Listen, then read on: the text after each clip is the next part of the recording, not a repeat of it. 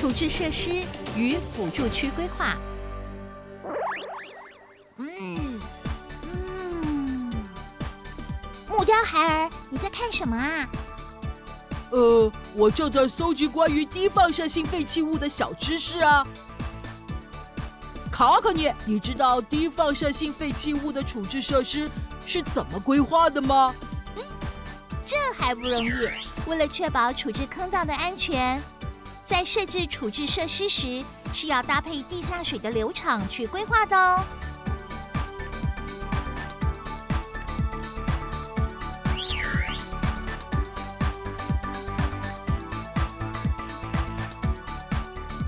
像是有明显的地层破碎带，或是地下水较多、流速又快的地方，都是不适合的。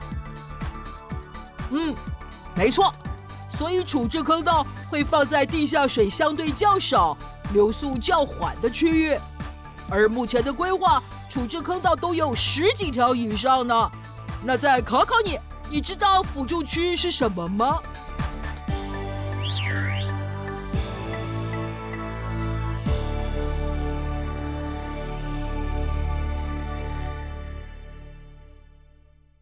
我知道辅助区是处置厂的附属设施，但实际内容我并不是很了解。辅助区主要是运转处置厂的支援设备和人力空间。以达人乡建议候选厂址的辅助区为例，辅助区主要设施包含运转大楼、行政大楼。污水处理厂、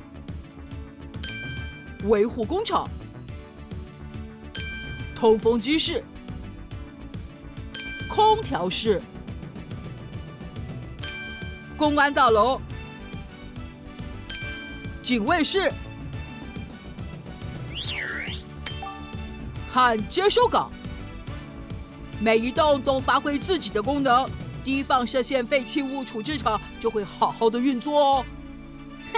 跟你聊得太开心，都忘了我还有事情。下次记得跟我说辅助区的功用。嗯。